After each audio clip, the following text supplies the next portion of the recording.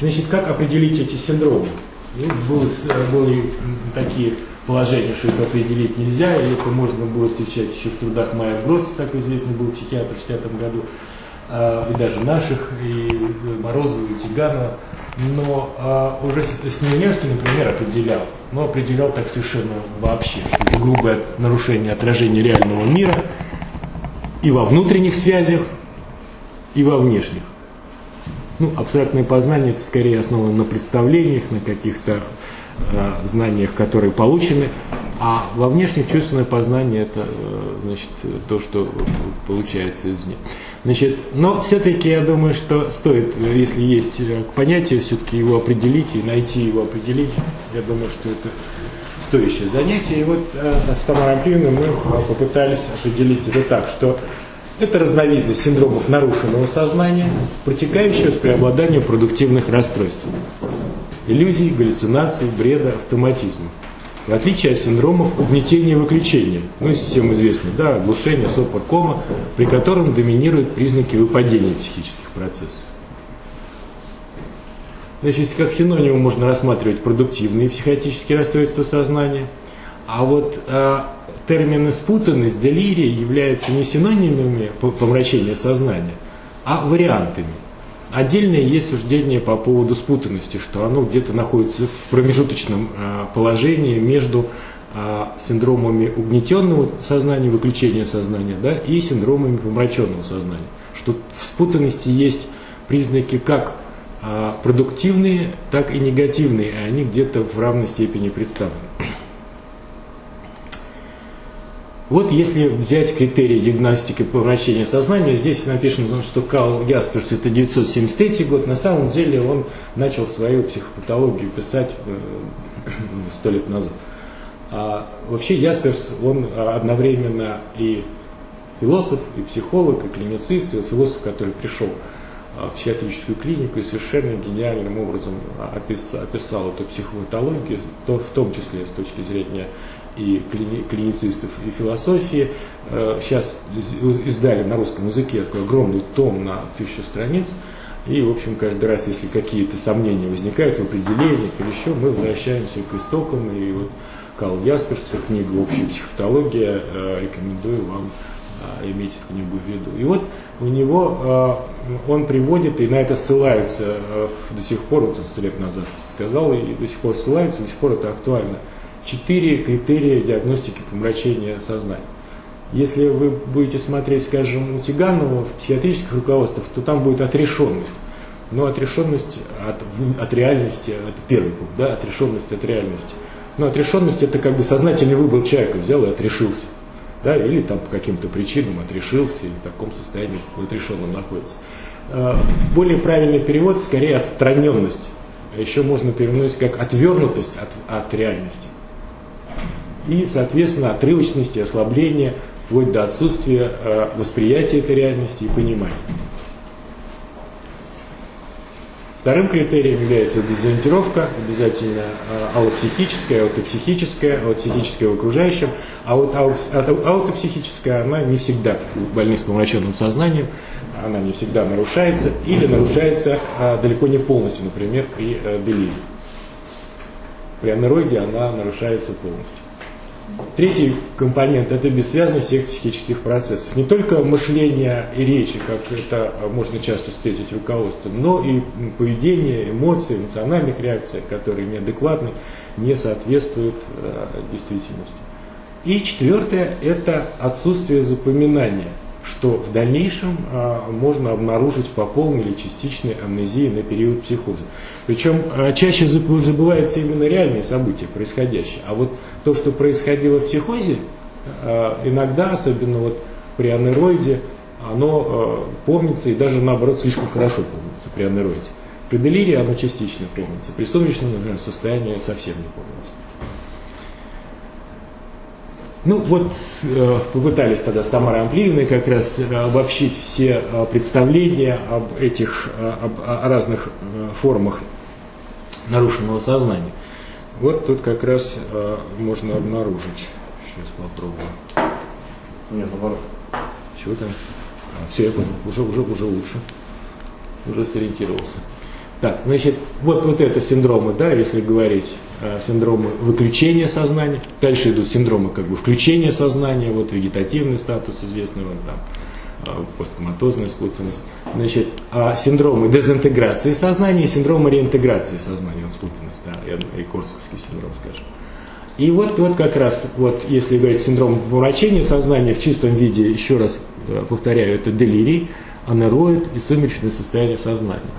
И э, отдельно, э, вот там Равлина, и вот мы в том руководстве в нейротравме, мы отдельно рассматривали спутность как нечто промежуточное между синдромом угнетенного сознания и синдромом дезинтегрированного сознания.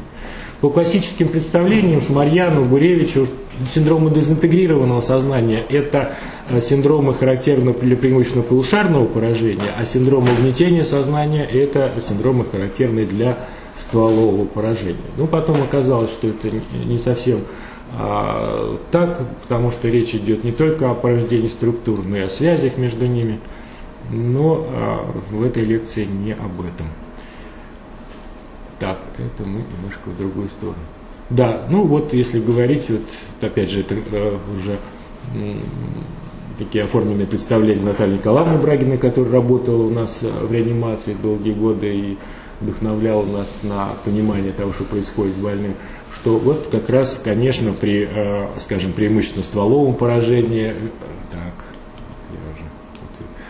привычно стволовом, там стволово подкорково динцефальном поражении скорее будет угнетенное сознание, при подкорковом тоже более вероятно, а вот при корково-подкорковом вот уже возможно. Но скорее будет синдром спутанности, а, а если, в, если в более легком повреждении мозга, то и синдром помраченного сознания. Так давайте так. Ну вот, если говорить о конкретных примерах, затяжные расстройства сознания – это главная особенность э, вот, современной нейрологической клиники.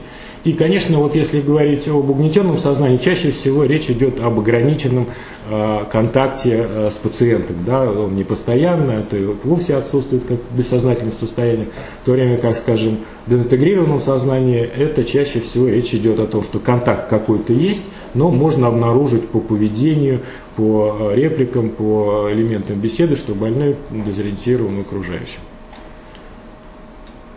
классификация синдромов помраченного сознания. Значит, по клиническим признакам, в первую очередь, делирий, как я говорил, анероид, сумеречное состояние сознания. Ну, вот можно еще сюда отнести аменцию.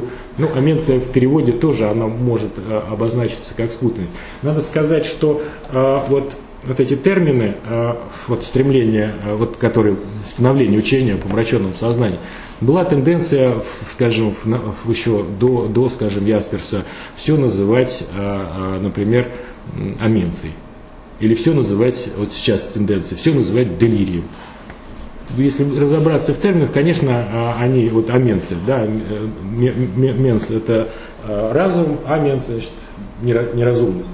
А вообще, на самом деле, то же самое с делирием, я там потом покажу. То есть делирия это, а, а, в принципе, выход из борозды. Лира это борозда с гряды, то есть ну, сход с катушек. То есть совсем термин совершенно не, не специфический изначально. Другое дело, что сейчас подразумевается под этим термином. Значит, второй пункт э. Э, да, а у нас все называлось спутанностью, вот, скажем, если взять Осипова, 26 год, все вот эти синдромы, спутанность э, с делирием, спутанность вот с, с, с чертами анероида и так далее, то есть все называлось спутанностью. Но э, более продуктивно все-таки различать эти состояния. Значит, по патогенетическим механизмам, да, значит, э, можно выделить интоксикационные чаще делирии, дезинтегративные чаще спутанность. Вот как мы недавно обнаружили, что вот спутанность, она наиболее затягивается, когда идет разобщение, скажем, между лобными долями а, головного мозга. Значит, эпилептическая э, чаще будут сумерки, сумеречное состояние автоматизма, эндогенные э, чаще анероид. Эндогенные имеется в виду, в общем-то, скорее шизофренический спектр. И стрессовые – это аффективно суженное сознание с грубыми истериподобными поведениями, когда э, острая э, ситуация, э, острая, как острая реакция на стресс. Значит, по преобладающему поражению мозговых структур левополушарные, к которым еще Тамара Амплиевна относила чаще сумерки, автоматизмы, можно сюда отнести речевидвигательную спутанность, правополушарные, чаще анероид, сновидные расстройства, амнестика, амнестическая, амнестико-калькуляторная спутанность и э, неспецифическая делирий. Но делирий, в принципе, вот э, по Тамаре Амплине Доброхотовой э, чаще тоже по поведению можно э, предположить, что преимущественно, потому что больной тревожен, беспокоен, можно предположить, что больной преимущественно страдает левое полушарие головного мозга. Но делирии тоже бывают разные. Да, и по преобладающему поражению э, медиаторных систем а, можно выделить холинолитическое э, состояние, то есть это вот как описывается э, в литературе, может быть, в художественной вы встретите, белины объелся, да, такое выражение. Ну, это вот холинолитическая спутанность. И катехоламиновая, более известная, которая как раз очень часто заставляет нас думать о назначении нейролептиков. Значит, дофамин и, или, значит, если адренергическое возбуждение, норадреналгическое возбуждение, может быть так. Так, значит, дальше. Ну, вот как раз я, то, что я говорил насчет разобщения, да, если говорить о дезинтегрированном сознании, то чаще всего а, есть, а, сейчас, секундочку, есть взаимодействие между полушариями по задним отделам, а вот по передним наблюдается а, разобщение. Если говорить о, скажем, посткоматозной спутанности сознания.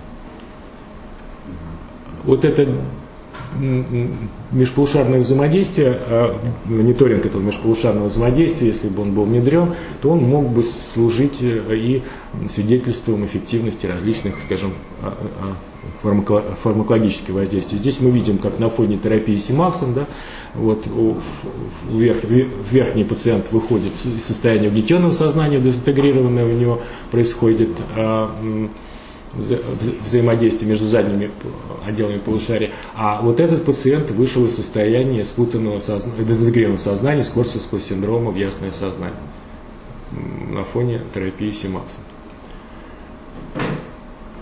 Ну, это тоже, возможно, известно вам а, такая как бы распределение нарушения, в том числе нарушения сознания при а, лево-правополушарном поражении. Здесь а, скорее амнестическая, амнестико-конфуляторная спутанность, переходящая в Корсакский синдром с наличием отсутствия односторонней пространственной адгезии будет при правополушарном расстройстве, а при левополушарном будет скорее речь двигательной спутанности и группы диснестический синдром.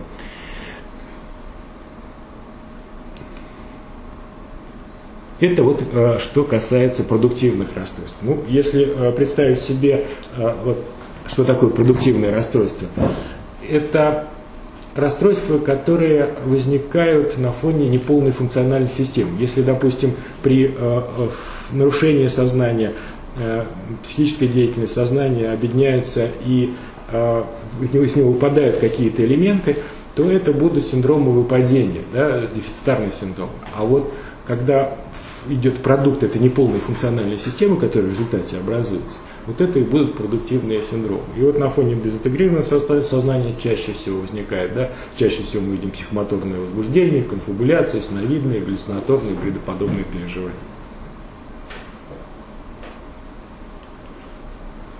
И они встречаются в 57-79% случаев. Но, как правило, это вот в нашей клинике это будет не чистый, скажем, делирий, если галлюцинации, да, это, скорее всего, будет какие-то делириозные компоненты на фоне спутанного сознания. Ну, тут очень такая большая таблица, я постараюсь. Э, э, здесь сделана попытка э, сделать дифференциально, провести дифференциально-диагностическое дифференциальный диагноз между отдельными а, синдромами помраченного сознания. И вот если, а, чем, они отличаются, да, значит, что, а, скажем, по ориентировке при делирии будет скорее аллопсихическая дезориентировка вместе времени, в анероиде еще будет еще и собственной личности, и часто будет двойная ориентировка. Сумеречное расстройство сознания, оно сложно сказать, о какой ориентировку нарушается, потому что а, с больным такого продуктивного контакта установить сложно, и э, э, дезориентировка определяется косвенно по поведению пациента. И при спутанности, значит, на высоте эта ориентировка будет, если возможно определить, то она будет тотальной. Расстройство восприятия. Если при делирии будут истинные зрительные слуховые иллюзии галлюцинации, то при анероиде они будут фантастические, сноподобные и часто псевдогаллюцинаторные картины. Иногда даже их описывают как представление, а даже не картина, а представление о том, а, что ему как бы показывают пациенту. При сумеречном состоянии расстройства восприятия опять определяются только по внешним признакам. Если они определяются, они, скорее всего, будут редки, отрывочные. А при спутанности они бледны, э, бедны, э, фрагментарны и при некоторых видах может быть скорее даже не обман восприятия, а вся психическая деятельность больного как бы перемещается в какой-то отрезок прошлого. И таковы, например, э, сборы в дорогу у пациента с, с, со старческой, например, где или там они ощущают себя, что на вокзале, что надо куда-то ехать там, и так далее. Ну, бред. Значит, бред у пределирии, скорее всего, будет вторичный по отношению к обманному восприятию, то есть основанный на тех галлюцинациях, которых он а, воспринимает. А, при анероиде он а, очень часто первичный, часто анероиду предшествует, вот скажем, при шизофрении предшествуют уже какие-то идеи и величия, постороннего воздействия, а в период а, анероида он будет себя ощущать в центре борьбы добрых и злых сил. Э, бред еще называется манихе, манихейским бредом. А при сумеречном э, э, расстройстве вот при отдельных вариантах бывают идеи преследования, а вот при спутанности опять говорят, что больной бредит, надо обязательно уточнить, в чем этот бред заключается. Чаще всего это просто отражение жизни в прошлом, где он кого-то там, например, зовет, там э, с кем-то разговаривает, что-то кому-то доказывает, но, э, скорее всего, просто воспроизводится какая-то ситуация из прошлого. По эмоциям, по внешнему виду, как можно определить и различить пациента. При делирии скорее будет тревога, страх. При анероиде восторг, зачарованность и, обездвиженность. При э, сумеречном расстройстве, скорее всего, эмоций вообще не будет на лице или будет дисфорическая такое, дисфорические эмоции. И э, при спутанности, если или отсутствует, или будет растерянность и характерна частая смена э, эмоций. И по амнезии, значит, если при делирии, значит, частичная амнезия, э, обычно э, и окружающая, и то, что воспринято, может каким-то образом частично а, запоминаться и потом а, даже забываться больным, то при анероиде эта частичность будет распространена на внешние события, а внутренние, то, что он переживает, фантастические эти переживания, он будет помнить и даже наоборот хорошо помнить. Более того, например, он даже был у меня пациент, который в восьмом отделении, который э, в течение, допустим, находился в этом анероиде часа три, наверное, после эндоназальной операции. Но рассказывал об этом анероиде мог рассказывать сутками. И потом через год приехал, еще несколько мне, э, значит, э, много разных подробностей этого анероида рассказал. Сумеречное расстройство, скорее всего, тотальное, и при спутанности, скорее всего, будет тотальная амнезия. Ну, здесь вот как раз а, по поводу происхождения слова делирий, а, а, безумие помешательства, а, от, от, от латинского, значит, еще, э, еще этот термин употреблялся чуть ли не 2000 лет назад уже впервые. Э, но если совсем, как я говорил, совсем уточнить его происхождение, что D это отделение устранения, а лира это гряда борозда, то есть выход с борозды, по-нашему, да, слететь с катушек, то есть вообще ни о чем. Значит, э, Значит, делирий определяется как галлюцинаторное помрачение сознания с преобладанием истинных зрительных, реже слуховых и тактильных иллюзий и галлюцинаций. Часто сопровождается тревогой, страхом, образным бредом, то есть вторичным по отношению к этим галлюцинациям, и двигательным возбуждением беспокойства. И соответствующие критерии диагностики, которые и включают в себя и а, критерии Ясперса, да, вот то, что а, мы уже говорили с особенностями значит, преобладание обманных восприятий, истинный характер. Что, что такое истинный характер галлюцинации? Что они, во-первых, локализуются в реальном пространстве. Не где-то, а вот он может показать, откуда он слышит глаза, где он это видит, на потолке и так далее. Часто сходны с повседневными ощущениями, и определяют соответствующее поведение. Черти бывают крайне редко. Чаще всего все-таки это будут какие-то насекомые, которых он действительно человек видел, какие-то а, отдельные, вот скажем, при атропиновом делирии чаще всего это отдельные мелкие такие а, насекомые или там какие-то а, частички. Значит, доминирует обязательно беспокойство, тревога, страх, и тоже это определяет такое а, двигательное а, поведение больного. И основные варианты делирия, значит, начальный, абортивный, э, э, ну, конечно, начальный абортивный, это, скорее всего, речь идет не о помраченном сознании, а, в принципе, это предделирий. А вот развернутый делирий, дальше вот еще выделяют профессиональные масситирующие, здесь тоже а, не совсем, а, думаю, правомочно называть это состояние делирия, потому что профессиональный делирий это уже а, носит характер спутанности, о котором я говорил. Это кусочек из жизни его обычной или в прошлом. Да? Вот он, допустим, мясник рубит мясо в момент делирия. Но это как раз оживляется какой-то кусочек из его жизни прошлого. Он не, не по-настоящему все это воспринимает, а это восп... Э, оживление какой-то картинки прошлого. в этом смысле это уже делирий, помраченное сознание, перешедший в спутанность, в мистическую спутанность. И, а уж муститирующий делирий, это вообще, а, а, скорее всего, это уже а, такой переход в гиперкинетическое состояние, даже ну, его называли психиатры гиперкинетический сопор то есть э, с бормотанием, собиранием, по сути дела, или вот еще назвали э, состояние аменции. Да? То есть это явно уже не делирия, а скорее спутанность. И вот если посмотреть, вот сколько бывает делирии выделяют, то все они очень, почти практически все они оказывается не делирием. Мне особенно вот нравится, например, это я вот скачал из интернета, 27 вариантов делирия, да? Но мне особенно нравится вот этот, например, делирий без делирия. Да? Ну, давайте, давайте, эпилепсия без эпилепсии, депрессия без депрессии и так далее. Вот, и причем э, серьезно обсуждается, что вот есть такое. Но если нет делирия, то почему это делирий тогда? Вот. Сознание без сознания, ну, это, это очень сложно. Вот. Другое дело, что, да, вот это тот делирий с бормотанием, то, что я говорил, да, вот, в общем-то, или, или еще есть, э, конечно, когда идет по а, по происхождению, да, по происхождению, это еще можно сказать, вот эпилептические делирии, там травматические, фармакогенные, там старческие, сосудистые, ну, вполне можно себе представить, но это по происхождению. А вот по клинической картине, вот еще мне очень нравится, делирий люцидный. Это что такое вообще, да? То есть делирий, в котором нет галлюцинации, основного признака э, делириозного помрачения нет. Вот. А, ну, еще делирии вот истерические тоже, ну, как себе сложно представить. Анероид, да, ну здесь все проще, это сновидение, сновидное а, нарушение сознания.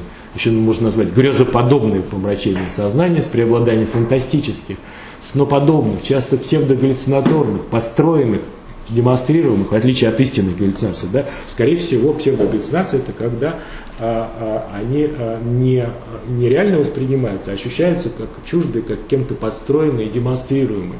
И более того, вот эти образы, они будут не локализуются не в реальном пространстве, а в фантастическом пространстве, которого реально воспри... больной воспринимать не, не может. В потустороннем мире, в космосе и так далее. Значит, часто сопровождается восторженностью, зачарованностью, ощущением себя в центре э, борьбы сил добра и зла. Конечно, здесь, э, как и всех, при всех помраченных сознаниях, есть критерии Ясперса, особенности здесь вы видите, да, вот особенно двойная ориентировка. Вот, а, значит, и вот тоже гипермнезия на фантастические переживания, то, о чем я говорил. Вот это часто, частый такой компонент делирия. Да, значит, а, вот такие именно псевдогаллюцинаторные, э, подстроенно демонстрируемые обманные восприятия может сопровождаться бредом величия особого предназначения, воздействия. И внешне, внешне можно его определить, что вот он оцепеневший, с выражением восторга на лице, зачарованностью. И варианты, значит, э, варианты, это уже выделенные психиатром, Снежневским в частности, а грезоподобный, фантастический, иллюзорный. Вот, э, то, что преобладает, да, вот псевдогаллюцинации или вот представления фантастические. и может быть экспансивный и депрессивный, то есть э, быть а, экспансивный там, где э, он спасает, э, допустим, весь мир, да, а депрессивный он самый большой грешник и так далее. Сумеречное состояние сознания – это помрачение сознания с преобладанием автоматически выполняемой, производящей впечатление целенаправленной деятельности, на период которой не остается сколько-либо отчетливых воспоминаний. Значит, критерии Ясперса здесь применимы. Вот, сужение восприятия, мышления на, на фоне внешне относительно порядочного поведения – Значит, и вот это вот сужение восприятия, то есть он вроде бы, пациент действует э, целенаправленно, производит впечатление, э, его действия, поведение производит впечатление целенаправленно. Даже окружающие не все могут заметить, что он находится в состоянии сумеречного сознания. Он может оказаться за, за то время, пока находился в этом сумеречном состоянии, а, проехав э, достаточно большое количество времени, Сейчас вот эти сумеречные, э, сумеречные состояния с последующей еще амнезией описываются в этих антропогенных э, психозах, которые описывают Кикелидзе, да, когда э, вроде бы он подозревает, что какое-то совершается воздействие, может быть, фармакологически наливает водку, там, либо с клофелином, либо с чем-то, вызывают эту тотальную амнезию пациента и сумеречное состояние, где человек обнаруживает себя вдруг на дороге, там, или около дороги, и не знает, где он, что он и как он. То есть э, не только сумеречное состояние, но и с выходом через тотальную амнезию. Значит, доминирует при этом безразличие, но может быть дисфория и агрессия, особенно при вариантах, которые э, галлюцинаторно-бредовом варианте, но он крайне редок. Галлюцинаторно-бредовый вариант, где описывается, что он видит преследователей, какую-то кровь, на кого-то бросается, вот, и э, защищается или там кого-то кого спасает. Чаще всего э, основной вариант это люцидное в виде амбулаторного автоматизма. И, наконец, спутанное сознание, то, что у нас в нашей клинике преобладает, значит, преобладает бессвязность различных психических процессов, и не только э, радиаторных, речевых, двигательных, но и эмоциональных, мистических, перцептивных. Э, конечно, здесь доминирует растерянность, недоумение, смена аффектов, стереотипное беспокойство. А, обман восприятия чаще а, фрагментарный, значит, воспроизводится ситуация из прошлого, привычной обстановки и действий. Ну, не только привычные, это очень часто именно воспринимаются какие-то очень эмоционально значимые эпизоды в жизни, не просто какая-то рутина, а вот именно где-то. Одна пациентка, а, которая от нас выписалась, я ее смотрел в 11 больнице, сосудистая пациентка, она смотрит в окно, а там действительно какой-то это самый пожар там в на территории больницы, это ей не казалось. Она видит этот пожар. Ну, как она его трактует? Она говорит, ага, приехали. А, значит, но я все уже спрятала, у меня ничего не найдут. То есть она видит не как пожар, а что приехали инспекцию, значит, приехали к ней проверять, хотя это все было на территории больницы. Ну и по поводу психофармакотерапии, вот этих состояний. Я э, вот показываю этот слайд и вот еще, еще раз и еще раз. Надо всегда помнить о том, что наши больные, тяжелые, даже после черепно-мозговой травмы, они э, при проведении психофармакотерапии, получение э, нежелательных, негативных эффектов психофармакотерапии, может быть даже вероятность этого может быть больше, чем позитивных эффектов. Вот, до 54% при использовании традиционных а, а, средств, нейролептиков, антидепрессантов, транквилизаторов. И только у ноотропов и у антиконвульсантов ситуация немного лучше, но немного лучше. Смотрите, побочных эффектов тоже достаточно много. Вот готовясь к этой лекции, как бы не смог себе отказать в том, чтобы а, у моего тезки Олега Семеновича, а, ну уже Левина, да, подсмотреть принципы фармакотерапии. Что, что важно, чтобы, э, чтобы вот не было этих, э, чтобы не нарваться на эти, на все побочные эффекты. Применять только хорошо проверенные, хорошо изученные лекарственные средства, представлять себе ожидаемый клинический эффект, соизмерять ожидаемый клинический эффект и возможные побочные действия препаратов, следовать от более безопасных к более эффективным, вот это очень важный такой момент – мне кажется, не сразу вот достигать эффекта. Вот от реаниматологов хочется сразу достичь эффекта, сразу там спасти больного от возбуждения, от всего остального. Не думая о том, что возбуждение иногда бывает прогностически благоприятным, и иногда больной должен свое э, от возбуждаться, что. Значит, предоставить препарату достаточное время для проявления своей эффективности. Предусмотреть возможность лекарственного взаимодействия, но это, как правило, предусматривается. Стремиться к максимально простой смене лечения, проявлять осторожность при лечении детей лиц пожилого возраста. И вот здесь не только допустимо использовать плацебо, да, ну здесь в реанимации, скажем, плацебо нет, но и не следует допускать эффекта ноцебо. То есть заранее, если вы уверены в неэффективности этого препарата, вот надо себя, а, вот свои эмоции, свои представления здесь немножко, для того, чтобы оценить его действие, здесь немножко тут имеется в виду уже плацебо и ноцебо для самого врача, который назначает. Ну, здесь вот еще можно сказать, а, вот те принципы, которые мы в 2002 году с Тамарой Андреевной формулировали, это адекватность выбора препарата, дозировки пути ведения, учет возможных сопутствующих эффектов, постепенное наращивание дозировок, предпочтение минимально эффективный доз, э, чтобы, чтобы именно попасть в терапевтическое окно, не попадая э, в окно побочных эффектов препарата. Комплексность лечения, одновременное назначение препаратов и не медикаментозного, в частности психотерапевтического воздействия – и э, непрерывность воздействия, вот в частности, если продуктивных расстройств, то до полного их купирования. И даже несколько дольше, потому что очень часто бывает, что если раньше времени не отменишь, то они могут а, вернуться.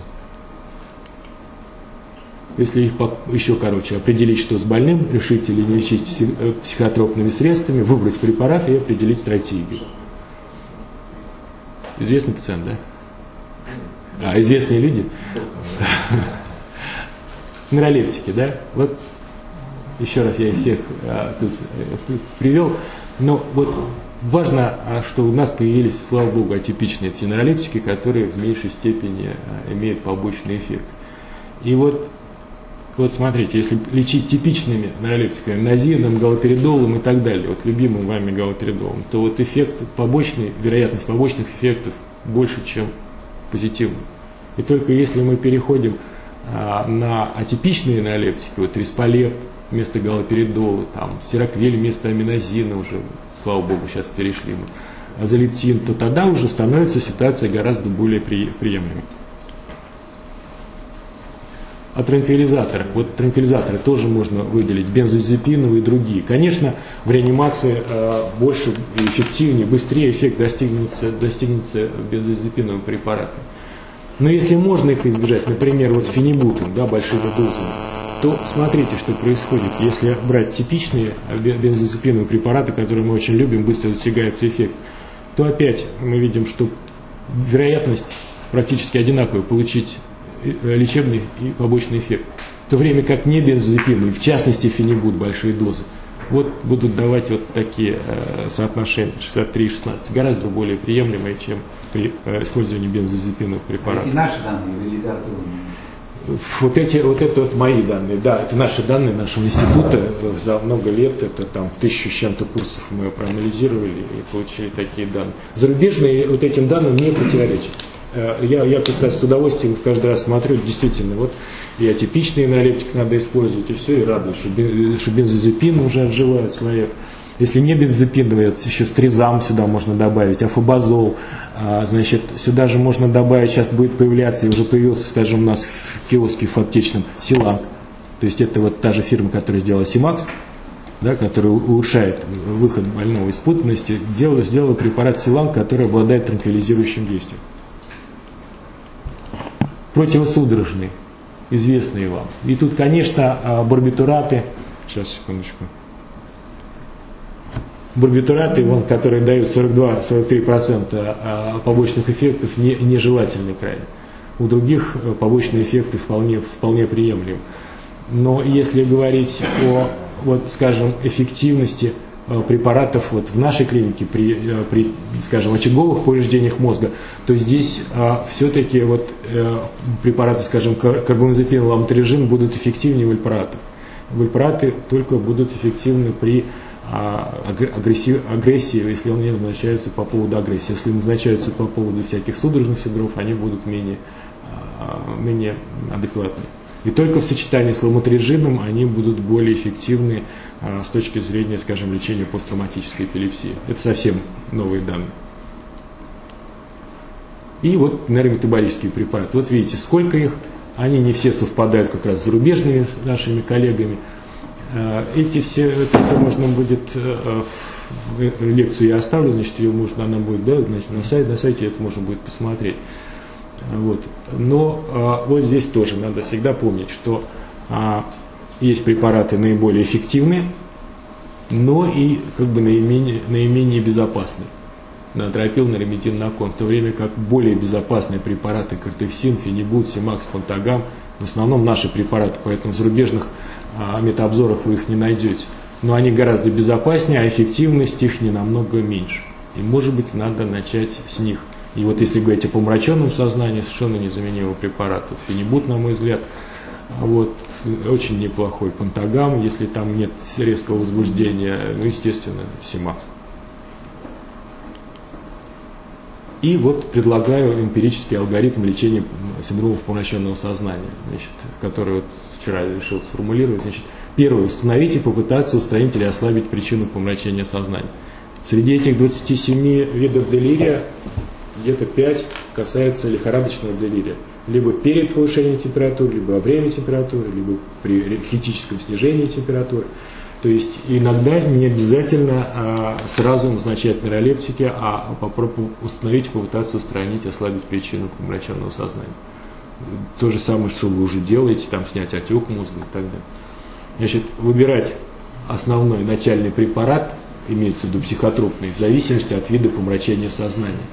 И вот начать с седативных ноотропов и потом переключаться на транквилизаторов, может быть лучше даже не бензодиазепину при возможности, при делирии и спутанности сознания. Нейролептики, конечно, э, при анероиде будут первыми препаратами, и при сумеречном состоянии это скорее будут антиконвульсанты. И только вторым темпом уже можно думать о более сильных препаратах и предпочитать наиболее безопасные, например, атипичные нейролептики, да, сироквери, виспалет, то есть даже не самые эффективные. Вот галоперидол, залептин, они будут более эффективны, но побочные эффекты будут, мы потом будем, если не вы, то мы уже в отделении травмы будем с этими побочными эффектами долго а, разбираться. Да, и очень важно, а, четвертый пункт, на мой взгляд, это дождаться появления основного лечебного эффекта. Очень часто мы назначаем препарат, и особенно вот в реанимации, а он неэффективен. Вот давайте еще еще галоперидол, давайте еще. Значит, при этом мы работаем не препаратом, не собственно антипсихотическим действием препарата. Мы работаем его побочным эффектом, седативным. Или не седативным, достаточно, недостаточно. Если так, то э, скорее, скорее, скорее надо, если седацию, просто нужно седацию, тогда лучше пойти более безопасными, скажем, э, бензодиазепиновыми средствами, а иногда даже и, э, скажем, тем пенталом, там, другими пропофолом, другими препаратами. И э, только при отсутствии появления основного лечебного эффекта, вот лечебный эффект основной нейролептик, он наступает через, часто через, ну, в лучшем случае через три дня, бывает, что и через неделю антипсихотического эффекта. И только при